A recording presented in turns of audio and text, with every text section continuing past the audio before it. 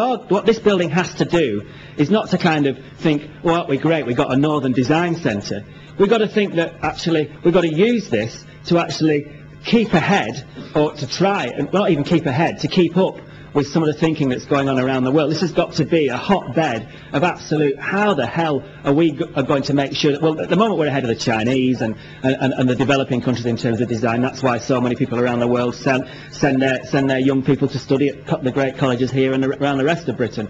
But they are desperate to get to where we are in terms of creativity and design. And in Europe, they're going at, at a faster pace, and we must, we must keep, keep seeing what they're doing. This is an example, this is the best housing development, I think, the best, no, sorry, the best new place being built in Europe at the moment. It's called IJburg, uh, and it's a new island that they've built. Um, 10 minute cycle from uh, Central Station in Amsterdam, so it's 80,000 people are going to live there, so it's a pretty major inner inner suburb of Amsterdam that's been built from nothing, completely scr- scratch. It's been dug out of the, the, the sea there, uh, and the sand has been piled up. Uh, and they started to, let, to, to do an, some amazing housing where people get involved, they design their own housing, they build it individually, and 80,000 is a big, you know, obviously a lot of people. Uh, and it looks like this, and it was, some, some looks less, less rich than this, and there's all sorts of stuff. But the first thing that they built the first thing, because what they knew that they had to do was to attract a creative community. A creative community is one that sings. If you, if you, if you, we know, we know from the 60s, if you, if you build something that is, um, just attracts people of low aspiration, the place ends up low aspiration. So what they, what they, if you look at the first, they wanted to, they wanted to attract a design-led community to, to, to live there. And the first thing that they built from day one was a beach. Uh, and this is what they said, this is what you're going to have if you come, come and live here. And so the importance of beaches and things like that. Anyway, that's enough of that. I'd urge you all to to read a book that came out. Has anybody seen the book The Spirit Level by Wilkinson and Pickett? Um, every designer, every I I believe that every designer and every single um, manufacturer should should read should read that book. What it's proved is that if um, for the first time ever, you know, we've got a very unequal society here uh, in Britain. You know, Britain and America, who are suffering as bad as anybody in the recession, and, and possibly worse than most, have got the most unequal societies outside of India. You know, we, that's the gap between between rich and poor. Um, the, the, the, the least unequal are the Scandinavian countries, Japan, Switzerland. There's, we have got the highest, we, in this country, uh, and we've got the highest teenage pregnancies, the highest mental health problems, the highest alcohol, alcoholism, and in, a, in, a, in the um, UNICEF study of child well-being of developed countries, we came bottom, totally and utterly bottom uh, of, of, de- of developed countries. And I, I, I, thought until I read this book, I said, I, I can understand why we come bottom of all of those, because there are a lot of poor people who are disenfranchised. And, uh, and then this book came out, and without a shadow of a doubt, I, I think it will change politics. I, I really think over the next over the next years, this book will change politics because it's it's well thought out. But more than that, it's not some it's not conjecture. There are figures that prove that when you, the more unequal the society, the more unhappy the wealthy are. There's more mental health problems, more, or more all sorts of problems in the It's not just the poor that have it. The wealthy get hit just as hard. And all those things that, that I thought were just, oh, well, it's those poor people, and you think, what we're going to do about it? But at least I'm all right. It's not that way. And this book, I've read it, I've read it again. I know lots of other people have read it, and it's unequivocally correct. Please, please read it. And the way we're going to solve it is by redesigning society. Uh, simple as that. We're going to have to redesign so much.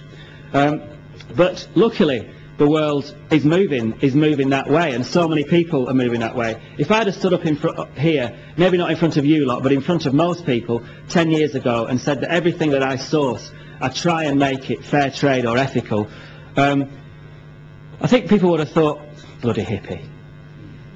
Uh, but now people think, well, he's probably right. If I'd have said that I take my that I've always taken my kids on world anti-world trade organisation marches, that we we marched against Iraq, that we did all that kind of stuff rather than sometimes missing their football on a Sunday. That this, these things are pretty important, kids. I know you may not understand it now. People would have thought, political idiot. You know, he's, a, he's, he's just a troublemaker. But now you might, when, you know, that, those, those marches were against greed, and people might think, well, maybe, maybe those people had a point. I think one of the things that really brought it home to me recently about how design thinking is changing and, and how designers are leading it was I, I was in uh, New York and I walked into a pretty swanky boutique with one of my daughters uh, and she, she, she, she said, oh, these are a cool pair of jeans. So they might be, but they're $400 and I'm not buying them and you haven't, and you haven't got that much. Um, and it had, it had the word Florence and Fred on it. Now, Florence and Fred, for those that don't know, is the, the jeans, the jeans that Tesco sell for eight quid, I think, eight or nine quid, is it? And these were $400, and I looked at them, and they'd been customised with beading and, and sewing on it, and they were nice, it was really well done. And it had this label in it saying, part of the Trashion movement. So, didn't know what it was, so wrote it down, went on the internet, back at the hotel, looked it up. Trashion's this movement, and I've been researching it. It's, it's I, I, it resonates with me because we started when we started Red or Dead back in 1980. We started off selling second-hand clothes, and Geraldine, my wife, customising them and all that. But, but um, I, I, started to trace what Trashion was about, and um, and and, and realised that it, it, was quite a bit, a, well, a pretty big movement. And what it is is that you know when we when we've worn our clothes, we put them. If you either you either if you're an idiot, you put them in the bin. If you're sustainable, um, you take them to a charity shop, or you put them in uh, you put them in one of those recycling points outside one of the supermarkets, one of those big metal containers.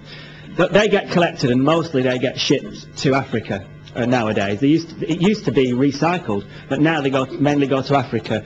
Uh, the charities get hold of them, send them to Africa.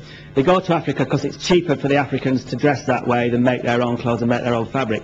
Somebody had written on, on about this Trashion, but they thought that that was wrong, that actually the, the, the Africans would be losing their skills by, by doing that, and, and maybe, maybe there was another way. So this guy had worked out that well, these clothes can get shipped, shipped to Africa, and this picture's from Sierra Leone, get shipped to Africa, let, let the women who've got the skills of sewing there do, do their their beading, their, their sewing, whatever, whatever you know the, the national identity was, and, and then guide them through that process, uh, and then sell it back in America.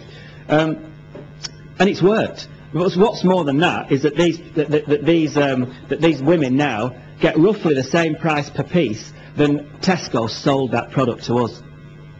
How fantastic is that? And this is a way that, you know, design thinking, creative thinking can turn everything on its head. And that might be like that much on, on the scale of a world economy. But it, it's, this kind of thinking is going to power on and power on and power on. Um, you only have to look at how, how things change and how thinking changes. If you look again back I don't know, when was Swampy around? When, when did we, when did Swampy start to, and when I said Swampy, I, I, there was a, a, little gentle murmur of smiles. So you could think about this funny little guy digging himself in tunnels underneath roads, climbing up trees and stopping things happening. And he used to be used, did Swampy, as an and finally piece on the news. Uh, you know, uh, uh, news at 10 would come on and they'd oh, and Swampy's down, and, and Trevor McDonald would come on, and, and Swampy's down his tunnel again, and somebody'd do some funny interview, and we'd all smile about it. We don't actually smile now when, uh, when Plane Stupid uh, come on second on the news, not maybe even first on the news, and when Greenpeace come on, because they've done the most amazing thing and bought the land that the third runway at Heathrow was supposed to be built on.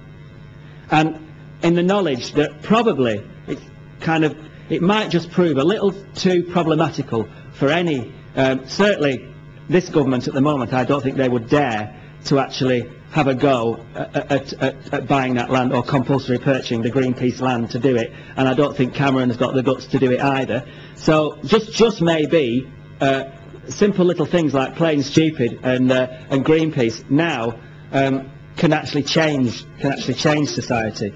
And, and, and be sure the, the, the, people, the main people who support all of that are design aware. They're not people who just don't give a toss about design. They are totally and utterly design aware people with the same brains that people who are qualified as designers have and, and, the, and, and the people who love design. The world is changing politically and, that, and part of that is the design change.